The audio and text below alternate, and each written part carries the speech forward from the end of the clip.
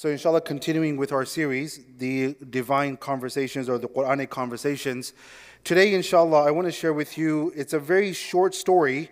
Basically, there is just only one, just or two lines of conversation that takes place back in the time of Bani Israel between two different groups of people. And in essence, this story actually teaches us, the Ummah of Rasulullah, two powerful lessons because you have to wonder and you, we have to really ask ourselves stories like this that happened thousands of years ago, there must be a reason why Allah subhanahu wa ta'ala put these stories in the Quran. Stories that you and I will recite till the day of judgment. There is a, probably a reason behind it. So let's go into the story. The story is that Allah subhanahu wa ta'ala, He wanted to test Bani Israel. And this is something that He would do often. He wanted to test their loyalty, He wanted to test their obedience. And Allah subhanahu wa ta'ala, He makes mention of this in various places in the Quran.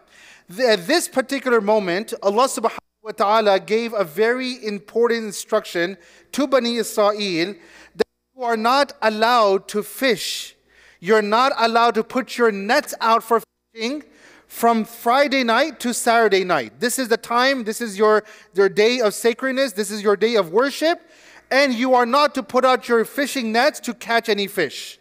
Now, it just so happened that Allah subhanahu wa ta'ala, in order to test how far they're willing to go to obey Allah subhanahu wa ta'ala, Allah destined and Allah put in place this, I mean, this was Allah's plan, that the fish would come often when on Saturday.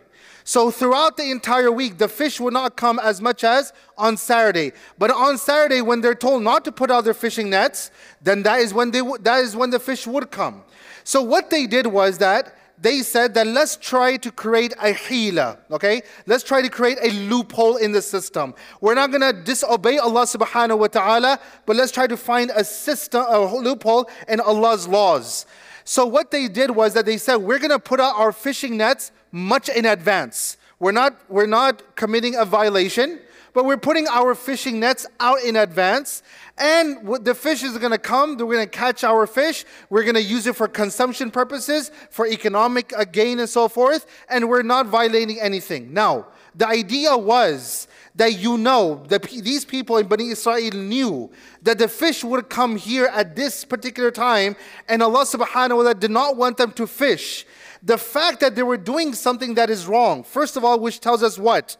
To try to find loopholes in Allah's system is a crime in itself. To try to find loopholes and to try to twist the haqq this is something that we often see happening at time to time that we're, you know, Allah subhanahu wa ta'ala made something haram. We're going to twist it a little for our own gain, for our own advantage, and we're not committing a violation.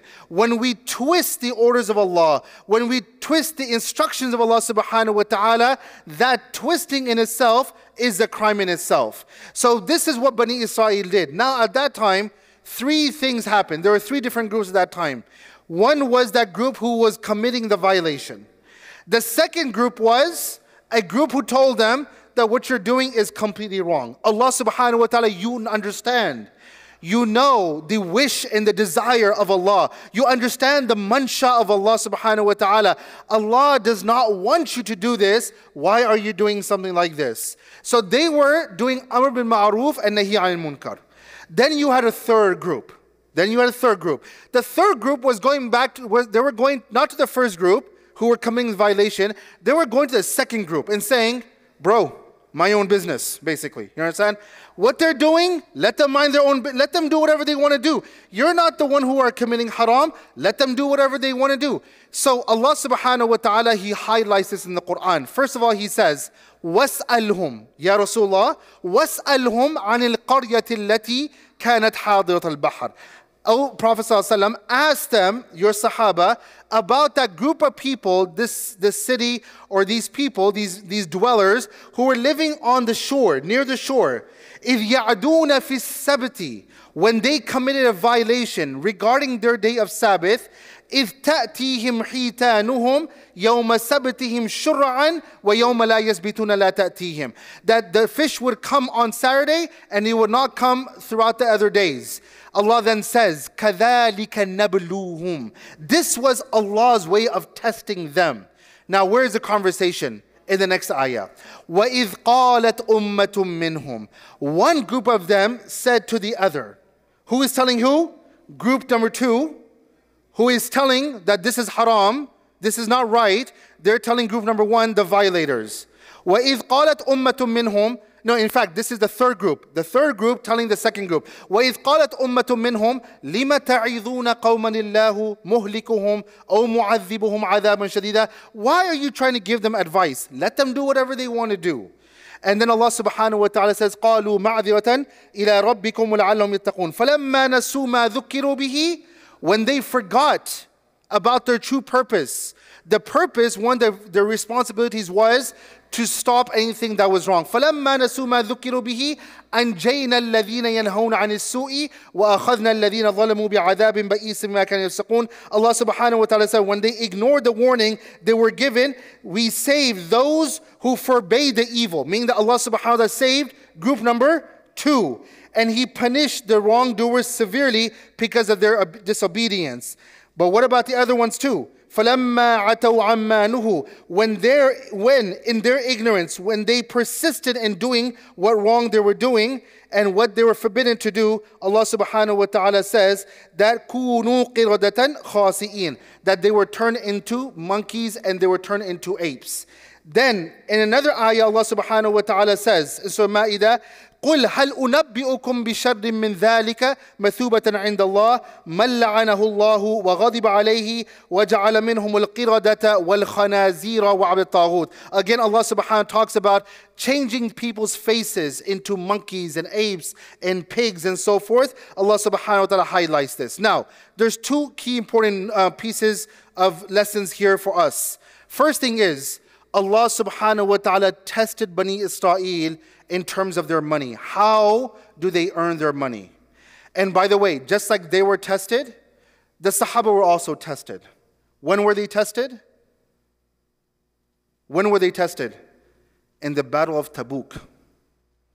They were tested when? In the Battle of Tabuk. Because the Battle of Tabuk took place at a time when the Sahaba were waiting for the entire year. These people were waiting on the week on a weekly basis. The Sahaba were waiting for that one time in the entire year where now they can pluck the, great, uh, the, the dates. They can take those dates, get them from the trees, and sell them in the marketplaces. At that time where the dates become ripe, Allah subhanahu wa ta'ala ordered all the Sahaba radiallahu ta'anhum, you have to go to Tabuk. No questions asked the Allah subhanahu wa ta'ala tested Bani Israel, Bani Israel failed.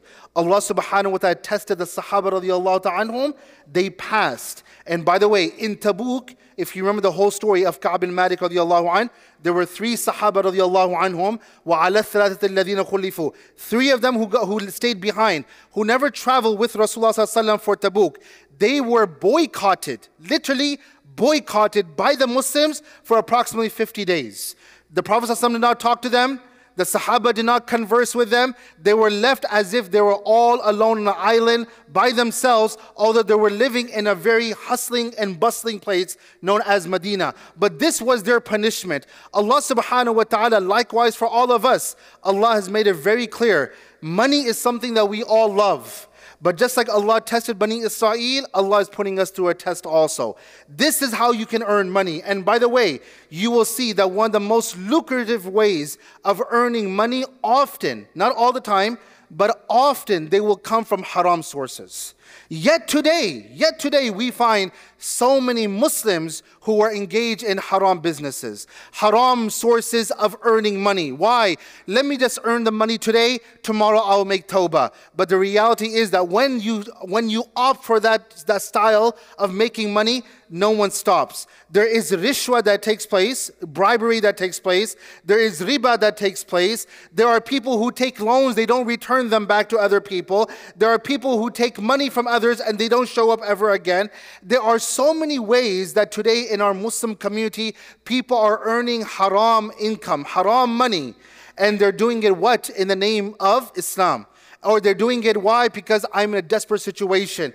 I understand there are there might be times of desperation, but times of desperation does not allow a person to have a haram income. So that is why it is absolutely important that one of the key lessons that we learn from this story of Bani Israel is Allah tested them when it came to earning money. Allah will test us also when it comes to earning money. The second thing that we learn from this story, which is very prevalent within our Muslim community, is that Allah subhanahu wa ta'ala, He punished the group number one because they were the violators. But Allah also punished the third group too. The ones who were going to group number two and saying, Why? Just mind your own business. Why do you have to interfere? Why do you have to fix things that are wrong? Just mind your own business. You don't have anything better to do? These third, this third group were also punished. What does that teach us? Right now, today, also in our Muslim community, wallahi, there is so much wrong that is taking place, whether it's in families, whether it's in the community, whether it's amongst people and so forth. And we know we know what's going on. Yet, usually, what is our response? Our response is, Wallahi, like group number three. Our response is like group number three. You know about it, just stay quiet. It's none of your business. It has nothing to do with your family. I shared with you some stories in the past also where people, they see haram things being done. They see other families potentially, they could be harmed by other families. And they know they can go to the family and say, you are about to be harmed by this family. But they usually stay quiet. Why? Because it's not my place to speak. Brothers and sisters, this is one of the things that is wallahi destroying our community. And in this society, especially, why can we not speak up the truth anymore now? Because people are going to become demonized. In this society, wallahi, I be, I'm very blunt about this. There are people who are staying quiet. They don't speak the haqq anymore. Why? Because what are some groups are going to say? Why, if I speak up, I may get canceled in my society. If I speak up and I speak the haqq, then someone is going to spread something about me on social media. And wallahi, all these people who spread this kind of fitna, they have to answer to Allah subhanahu wa ta'ala. But especially in times like this, if I sit there and I say, I'm too scared to speak the truth, I'm too scared and afraid to speak the truth, then guess what? We are also part of group number three. We don't realize this. We might think that, yes, I have some iman in my heart, but if I'm too afraid to speak the truth, then we belong in group number three. And group number three was also punished by Allah subhanahu wa ta'ala. So that is why this is why Allah subhanahu wa ta'ala in the Quran when He talks about لُعِنَ الَّذِينَ كَفَرُوا مِن بَنِي إِسْرَائِيلَ عَلَى لِسَانِ دَاوُودَ وَعِيسَى بْنِ مَرْيَمَ These people, Bani Israel, they were cursed on the tongues of Dawood alayhi salam and Isa alayhi salam. Why were they cursed? What crime did they commit? They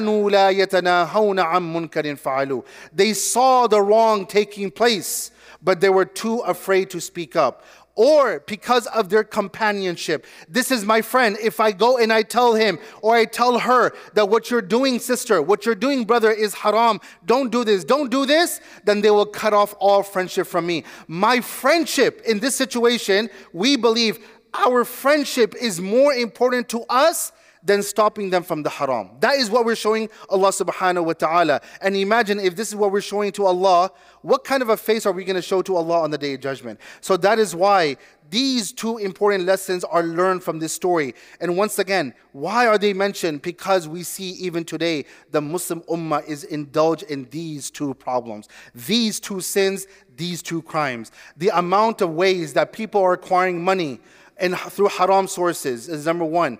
But number two, the biggest problem that today we have in our Muslim community is that people, there are people who want to do the right thing, but because because you have this third group type of people who are saying it's none of your business, or is the other way around too.